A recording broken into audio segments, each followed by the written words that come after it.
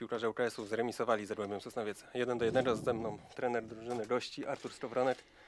Panie trenerze, jakie wrażenia po meczu?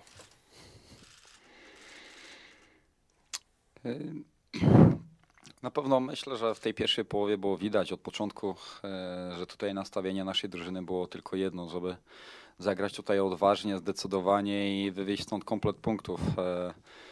E, e, Z pomysłem taktycznym, e, zaangażowaniem piłkarzy do tego dążyliśmy. E, I te wrażenia z pierwszej połowy mam bardzo dobre, e, co potwierdza ta pierwsza połowa, że my jesteśmy po prostu w formie. Uważam, że brakuje nam po prostu konkretów w polu karnym e, przeciwnika, bo sytuacji stwarzamy sporo i, i poprzez skuteczność e, na razie nie możemy złapać takiej serii, na której nam bardzo zależy. E, Ale gratuluję piłkarzom, że potrafiliśmy odpowiedzieć też w momencie, kiedy ŁKS e, złapał rytm i było nam trudniej w drugiej połowie. I mieliśmy takie 20 parę minut, które, które chcielibyśmy, żeby lepiej wyglądało, ale to jest bardzo dobra ekipa, to jest ekipa, która walczy o awans, jesteśmy na bardzo ciężkim terenie i, i taki moment e, wiedzieliśmy, że będzie też trudny w meczu i co ważne, no niestety po, po błędzie straciliśmy tego gola, ale zareagowaliśmy, co pokazuje, że zespół też zmienia mentalność i e, potrafi, potrafi zareagować na trudne sytuacje. I to dla mnie jest budujące na przyszłość, że w tym październiku, gdzie, gdzie mamy dobre ekipy, my absolutnie możemy z klatą do przodu wychodzić na boisko, bo wiemy, że jesteśmy dobrze przygotowani fizycznie i, i mamy jakość, którą po prostu musimy udokumentować golami. Dziękuję. Dziękujemy. Poprosimy o pytania do trenera zespołu Zagłębia. Przypominamy o zadawaniu pytań do mikrofonu. Rozpoczynamy drugą część konferencji prasowej po meczu ŁKS Zagłębie Sosnowiec. Z nami trener ŁKS-u Kazimierz Moskal. Panie trenerze, emocje były do samego końca, ale chyba nie o te emocje nam chodziło dzisiaj akurat. Dzień dobry. Emocje zawsze są emocjami. Więc e, to jest piłka, to jest sport i e, trzeba to przyjąć. Mieliśmy swoje problemy przed tym e, spotkaniem, e, jak mogliście zaobserwować, jeśli chodzi o zestawienie jedenastki. Ale trzeba sobie też e, jasno powiedzieć, że mm, Zagłębie zagrało dobre spotkanie.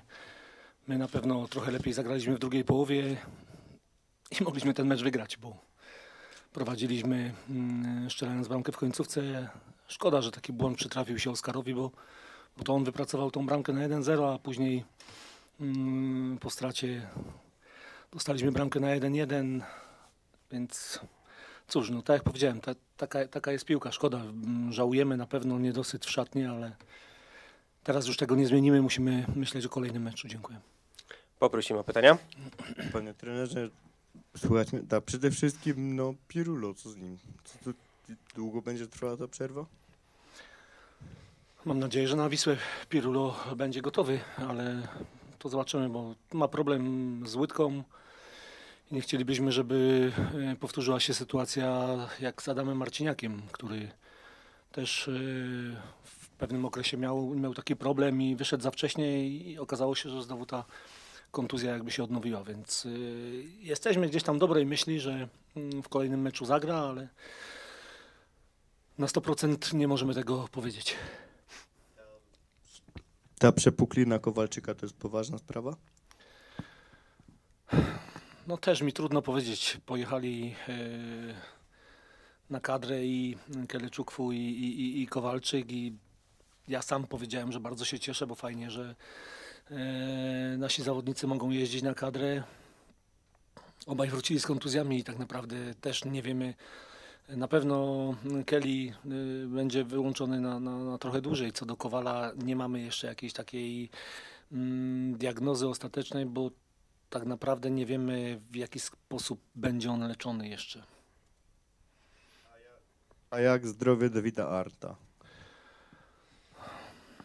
Musiał opuścić wojsko, bo dostał gdzieś e, w mięsień czworogłowy i pod koniec e, pierwszej połowy stwierdził, że gdzieś cała noga mu drętwieje.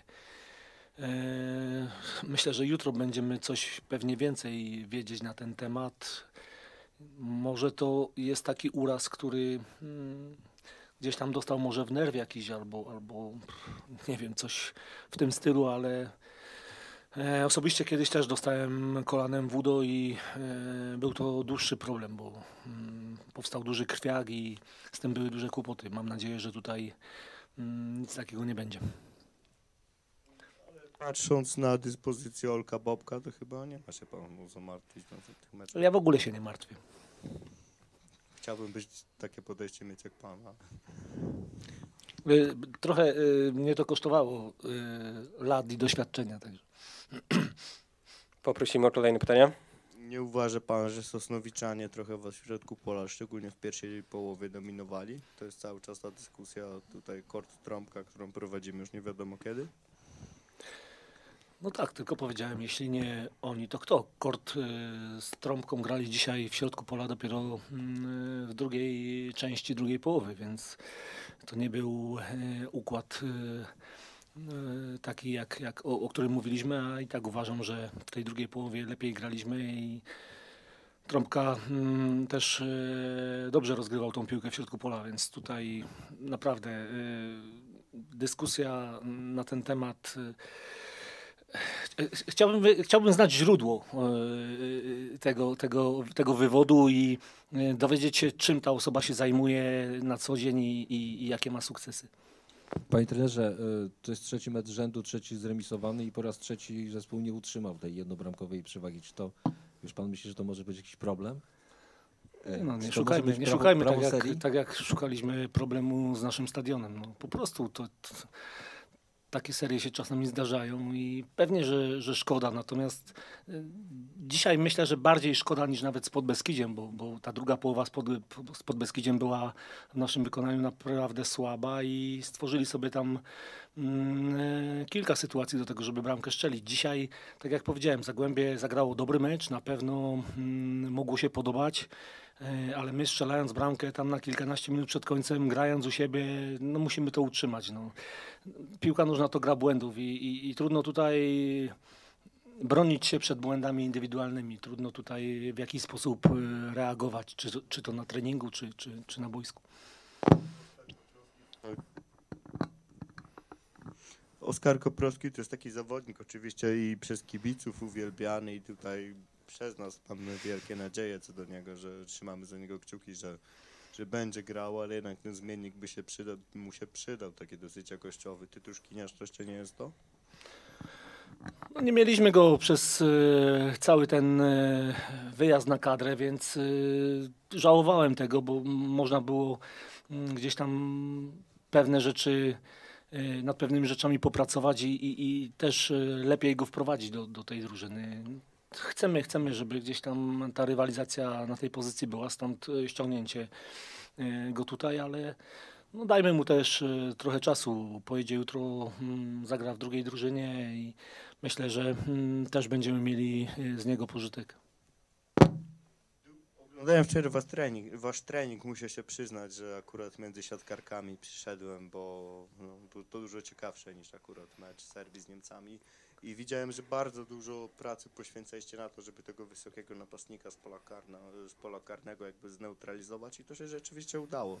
To są te takie małe kroki, które pan chce wprowadzać w drużynie, to jest ten taktyczny jakby pomysł na każdy mecz, tak jak mówiliśmy wczoraj?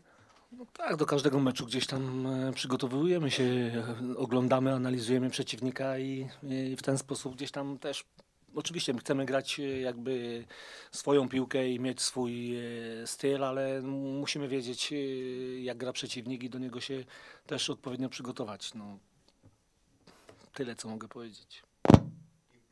A jest, znaczy może się pan ze mną nie zgodzić, ale ja jak oglądałem mecz, to mi się tak wydawało, że imponująca jest postawa Mieszka Lorenza, nie? Że to jest chłopak, który niby gra tej defensywnej pomocy, ale tak naprawdę 99% procent podań, które przez niego przechodzą, to są podania do przodu. To był dzisiaj taki MVP tego spotkania po waszej stronie? Nie wiem, czy to był MVP, no to wy dziennikarze najlepiej potraficie to ocenić po meczu, kto, kto, kto był najlepszym zawodnikiem, więc y, ja podziękowałem im za walkę i widziałem gdzieś tam wielki niedosyt w szatni, natomiast no, też nigdy nie, nie, nie chcę za bardzo oceniać indywidualnie mm, po meczach zawodników. Co mamy sobie powiedzieć, to powiemy na odprawie pomeczowej, kiedy będziemy robili analizę. Nie chciałbym, żeby tutaj gdzieś na konferencji dowiadywali się o pewnych rzeczach.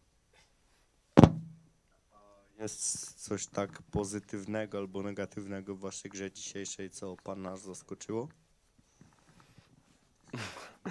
Pozytywnego albo negatywnego. To jest piłka, no, y, y, tak jak mówię, no, jesteśmy rozczarowani trochę tym, że mo- można grać nawet słabo. Ja nie mówię, że byliśmy dzisiaj zespołem lepszym od Zagłębia, ale, ale no, jeśli się y, traci dwa punkty w takim spotkaniu, w takich okolicznościach, no to y, na pewno nie jest to gdzieś tam y, jakieś y, przyjemne i miłe, tak? A co może bardziej martwić teraz w ŁKS-ie? Ta skuteczność, czy mimo wszystko styl?